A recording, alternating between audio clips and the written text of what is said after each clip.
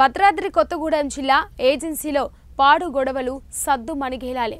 ఇటీవల సత్తుపల్లి బుగ్గంపాడు ఘటనలో పోలీస్ సిబ్బందిపై దాడి మరవక ముందే మలకాలపల్లి మండలం మలకలపల్లి బీట్ అన్నారం ఫారెస్ట్ పరిధిలో ఎఫ్బిఓగా పనిచేస్తున్న బోనత్తుపురాపై దాడి జరిగింది.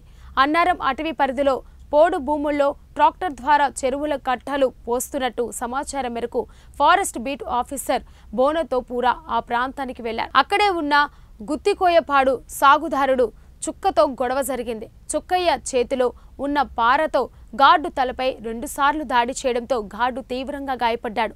విషయం తెలుసుకున్న ములకలపల్లి అటవీ రేంజ్ సిబ్బంది తీవ్ర గాయాల పాలైన గార్డు పూరాను చికిత్స నిమిత్తం కొత్తగూడెం ఆసుపత్రికి తరలించారు. కొత్తగూడెం ప్రైవేట్ హాస్పిటల్లో చికిత్స పొందుతున్న పోరాను పరామర్శించేందుకు డిఎఫ్ఓ కృష్ణగౌడ్ ఆసుపత్రి వద్దకు చేరుకున్నారు. బాధితుడి కుమారుడు తన తండ్రిపై జరిగిన దాడిని జీర్ణించుకోలేక రక్షణ కల్పించడంలో విఫలమయ్యారంటూ ఫారెస్ట్ డిఎఫ్ఓ పై ఆగ్రహం వ్యక్తం చేశారు.